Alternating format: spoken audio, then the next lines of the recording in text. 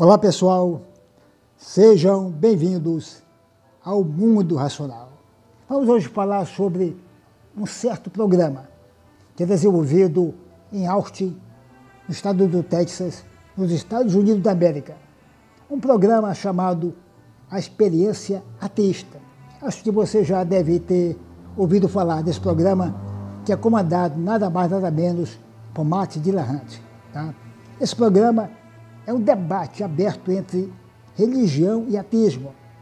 Ele está na televisão desde a década de 90, mais precisamente o ano de 97.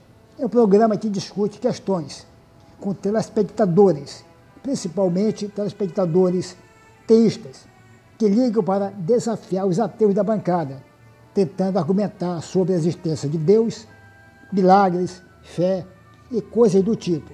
Pois é, um programa no qual ele disponibiliza uma linha telefônica e incentiva o crente, o teísta, a ligar para abrir esse debate entre fé e ciência, entre religião e ateísmo. Os apresentadores contra-argumentam com a dúvida persistente, respondem tudo de forma direta e muitas vezes até sarcástica. Eles são apoiados em muita ciência, racionalidade, estudos sobre a natureza, a astronomia, a biologia, a astrofísica e tantas outras ciências por aí. Os ateus do programa costumam, de vez em quando, né, sapatear sobre as frases feitas e citações bíblicas dos que os desafiam no ar. Sucesso no YouTube, esse programa tem milhões de acessos, milhões de views. Duvido muito que um programa como esse vingasse no Brasil. Aqui no Brasil, o preconceito contra ateus e agnósticos é gigantesco.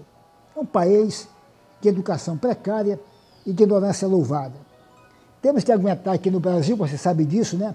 Um falatório religioso na TV imenso, uma exploração midiática da fé e sessões do descarrego em HD. O Brasil tem essa notícia até de que uma televisão, rede nacional, fez uma entrevista com o encosto já pensou isso, né? Será que esse encosto foi o capeta? Foi o demônio? Foi o diabo que estava lá? Será que falaram com ele realmente? Né?